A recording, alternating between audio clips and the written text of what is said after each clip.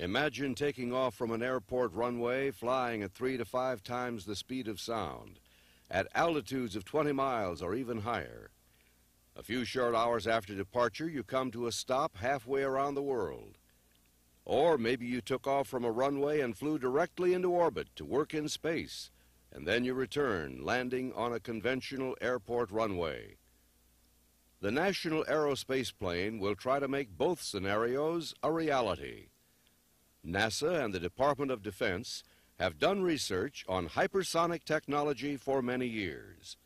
The NASP technology demonstrator will be a highly advanced X-plane, a new member of the elite special research aircraft that includes the X-1, which in 1947 was the first aircraft to break the speed of sound and fly supersonic.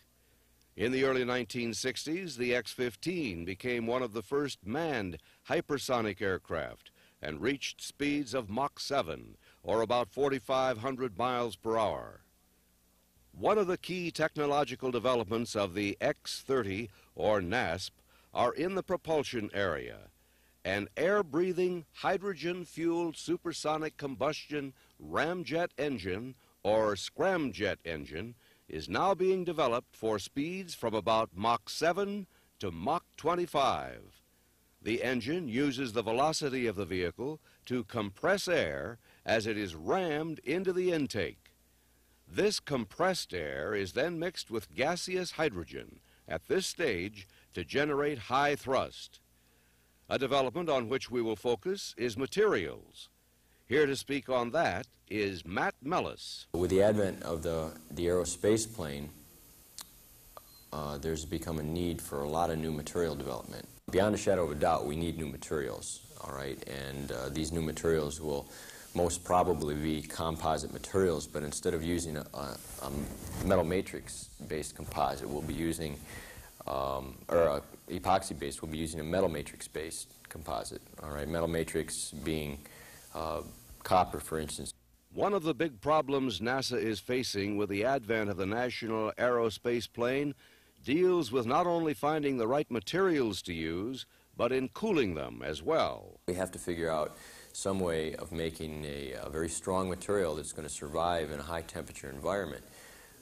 And what we're going to have to do is actively cool uh, this material, all right, by putting some kind of a uh, cryogenic fluid behind it, gaseous hydrogen or liquid hydrogen, which is very cold, uh, and acts as a good uh, heat transfer medium to take heat away from the leading edge. So on, on one side of the, uh, of the material, on the inside of the wing, for instance, there'll be a lot of coolant rushing through to cool the inside down, and on the outside you'll have a very hot surface. And that is why we need the high heat conductivity. For instance, you look at fighter jets that travel uh, Mach 1 or Mach 2, or even the Concorde, which goes up to Mach 2 uh, you see that their wings are very narrow at the leading edges, okay? And there's a problem with that because the smaller the leading edge gets, the, the more difficult uh, it is to cool, and the hotter it gets because it's such a small, it's just such a small point lying out there in the free stream that uh, it gets it gets very warm very quickly. The National Aerospace Plane is one of the projects being developed by NASA for future space use but we cannot expect it to do all of our work in space.